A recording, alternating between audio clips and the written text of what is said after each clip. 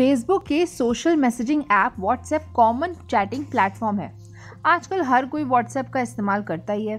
लेकिन ये messaging app अगर सावधानी से इस्तेमाल ना किया जाए तो मुसीबत का कारण बन सकता है। व्हाट्सएप को कोई भी आसानी से हैक कर सकता है।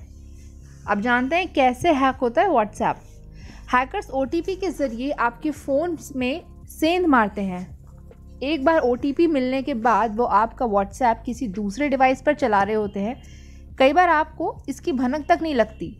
हैकर्स व्हाट्सएप का बैकअप रीस्टोर करके डेटा के साथ छेड़छाड़ कर सकते हैं।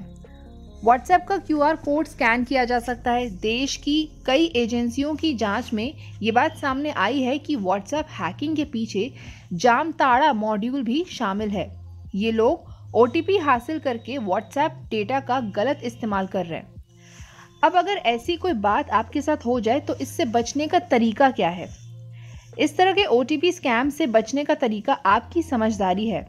जब आप इस तरह के व्हाट्सएप से ओटीपी नहीं मांगेंगे, तब तक कंपनी आपको ओटीपी जारी नहीं करेगी। ऐसे में अगर बिना रिक्वेस्ट किए ओटीपी नंबर आपको जारी होता है तो उसे तुरंत नज़रअंदाज कर देना चाहिए और हो सके तो मैसेज को ही डिलीट कर दें।